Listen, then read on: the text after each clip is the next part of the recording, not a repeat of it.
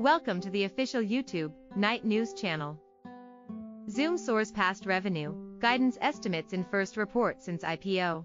Zoom soared more than 21% Friday after beating revenue estimates in its first quarterly earnings report since its IPO and guiding well above analyst expectations for its full fiscal year.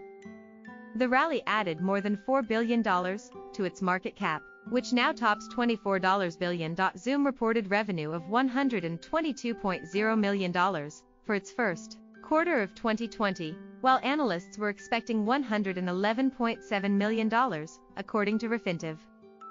It guided earnings per share of 2 cents to 3 cents for the full fiscal year, excluding certain items, with revenue between $535 million and $540 million. Analysts had been expecting a loss of 3 cents per share, excluding certain items, and revenue of $520.3 million, according to Refinitiv. Zoom reported 3 cents per share in earnings for the first quarter, excluding certain items. CNBC does not compare earnings against estimates for the first quarter report after an IPO.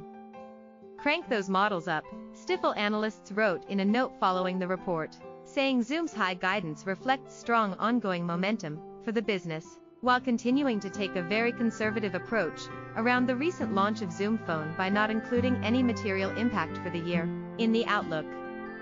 The firm has a hold rating on the stock, reflecting valuation concerns, but raised its price target to $80 per share to reflect higher estimates. KeyBanc Capital Markets maintained a sector weight rating on the stock, saying it believes shares are fully valued.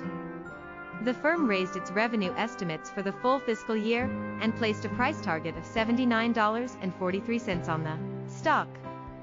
Bulls will point to both record customer adds as well as strong average revenue per user ARPU expansion, 6% Y/Y to $8.93 thousand, to show that Zoom is becoming increasingly relevant to both new and existing customers. KeyBanc analysts wrote in a note following the report.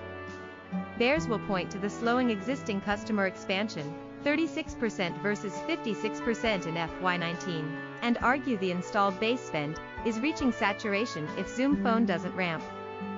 Analysts still seem dazzled by Zoom's metrics. The company stood out from the rest of its tech IPO class in achieving profitability before going public in April. That helped the stock soar 72% on its first day of trading. JMP analysts raved in their post-earnings analysis that Zoom has some of the best financial metrics we have seen in the software world. CNBC's Jordan Novet contributed to this report. Subscribe to CNBC on YouTube. Watch CNBC's full interview with Zoom CEO Eric Yuan. Thank you for watching.